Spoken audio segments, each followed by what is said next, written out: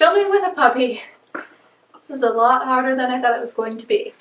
She's very distracting. What is up guys and welcome back to my channel. It has been a very hot minute since I did a new episode of my Studying for Dental Hygiene series. And if you've been following along with my videos, you know that it is because I got this little precious baby and we've been very distracted with her and making puppy videos. But I do still have a ton of videos to make for this series. So in today's video, I am going to be doing the sixth episode for this series. And today's video is going to kind of be like a part two of my dental nutrition video, but just a little bit more in depth. So in today's episode, we are going to be doing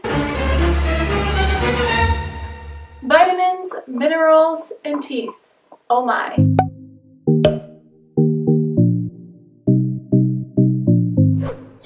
Dental hygiene school, I had this huge binder full of so many cheat sheets just so that way I had somewhere to quickly reference anything that I possibly had a question on or things that patients frequently asked me about. And one thing that patients frequently ask is, what can I take for that? What can I take to help with that? And as dental hygienists, we are not allowed to prescribe any medications, but we can always give suggestions for supplements as long as they okay it with their PCP. So in today's video, I'm going to be going through the top most common vitamins and supplements, what natural sources you can get them from as far as food goes, what do they do for your teeth in particular or your gums, anything surrounding that, anything at all that involves your mouth, as well as what deficiencies and these certain items can cause within the oral cavity. So this is my handy dandy cheat sheet for vitamins and minerals that I had in dental hygiene school. So the very first one that we are going to be covering is vitamin A. So vitamin A could be found in a ton of different food items, but just to name a few, we have carrots, yellow squash, red and green peppers, spinach, kale, butter, and beef liver. So what does vitamin A have to do with your teeth? How does that affect your teeth? It builds and maintains healthy gums. It aids in the development of your salivary glands as well as the epithelial tissue. It aids with your immune system. It boosts the production of white blood cells, which are needed to help fight off infection. It helps regulate cell growth and differentiation, and it also helps regulate bone remodeling. Vitamin A is an essential vitamin for periodontal and oral tissue health. If you have a deficiency in vitamin A, some things that can occur are you would have an altered epithelial integrity, you could have dry mouth, so you could have xerostomia, you can have oral local you can have oral leukoplakia, which is a white patch that you could find within your mouth. You could have hyperkeratosis and hyperplastic gingival tissue.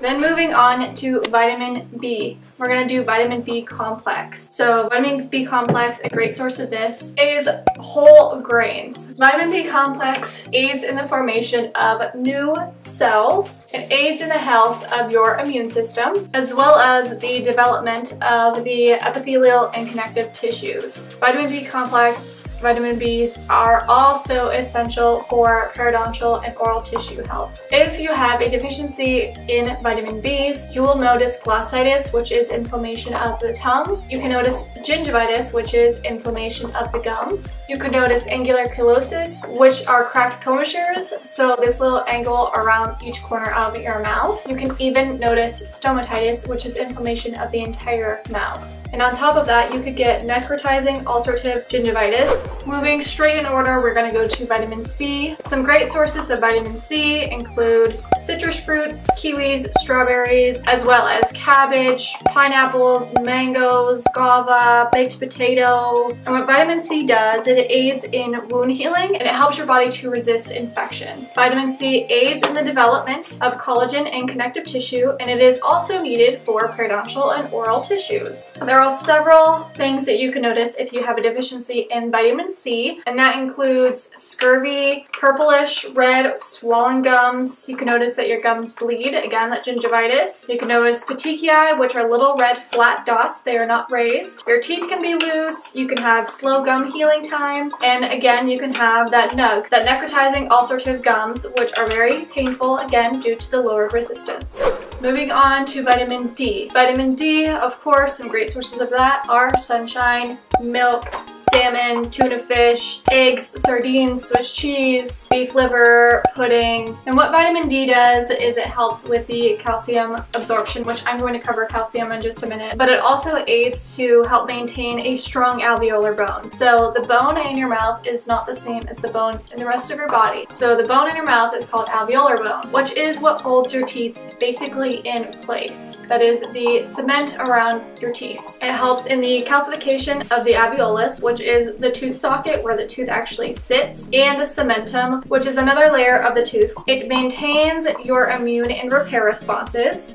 It helps to prevent osteoporosis. Some issues that you can see with a vitamin D deficiency are an adequate healing of bone. We don't notice after an extraction that their bone is healing very well. It's taking them a very long time and that can be from a vitamin D deficiency. Now in addition to that, it can contribute to the severity of the alveolar bone loss. It can also cause thinning of the alveolar bone. So vitamin D, as you can see, has a lot to do with the health of your bone. Moving on to vitamin K. Some sources of that are broccoli, kale, cabbage, peas, milk, lettuce, Brussels sprouts, a bunch of greens. A deficiency in vitamin K can cause poor clotting. So whenever I think of vitamin K, I think of clot, K and clot. Even though it's K in clot has a C, it kind of sounds the same. So vitamin K and clotting, just always remember that those two go together. And it also can prevent your wounds to stop healing. So again, preventing the clotting factor,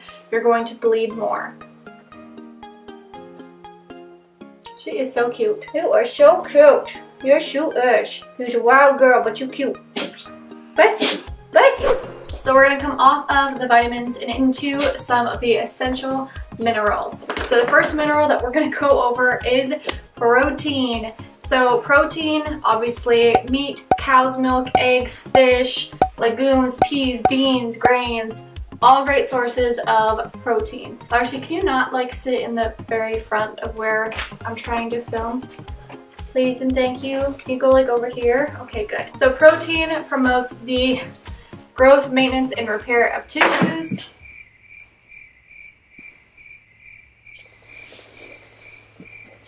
So protein helps promote the growth, maintenance, and repair of tissues, and it also manufactures antibodies. So these little guys that also help to fight infection. A deficiency in protein can cause necrotizing ulcerative gingivitis. Again, those painful, very painful gums that are due to a lowered resistance.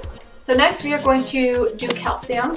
And some great food sources of calcium are fortified cereal, soy, sardines, tofu, yogurt, spinach, cow's milk, and mozzarella cheese. Why is calcium important for your teeth? Why is it important for your bones? Why is calcium important for your mouth? Well, calcium builds and maintains a strong alveolar bone. It maintains your immune and repair response, and it is good for the alveolus and cementum. So again, the alveolus is your tooth socket. It is where your tooth sits. deficiency in calcium, as I'm sure you could guess, can contribute to the severity of the alveolar bone loss. So again, people who have issues with their bone, who have gum disease, who've just had a tooth pulled, who need help healing that bone, any deficiency in calcium is going to inhibit that process.